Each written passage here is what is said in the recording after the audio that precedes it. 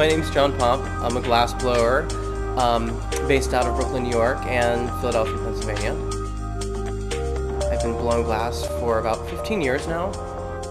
Being able to work on this project with Newton Vineyards was quite exciting to me because the name of the project is Nature by Design and we are very much akin because as a designer, glass designer, glass maker, my approach to glass is very much a natural approach.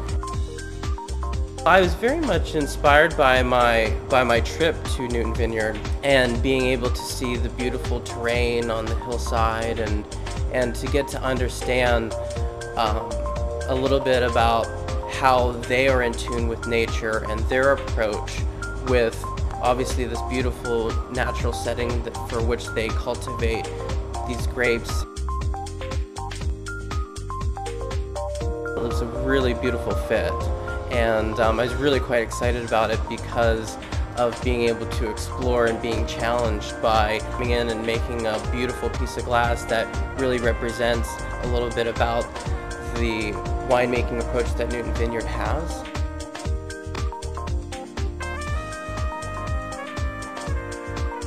I try to understand the, the nature of the material and try to work with it as best I can.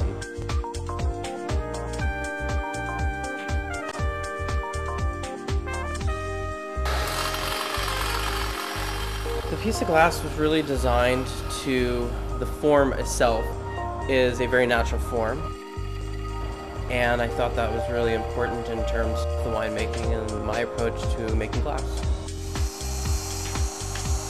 I thought it made a lot of sense to just make a finely crafted piece of glass that had just a little bit of a handmade touch, a handmade sensibility that, that so you, people really understood that, you know, people and artists here, were, we really made this stuff and we really created it. And I think that the wines definitely speak to that as well.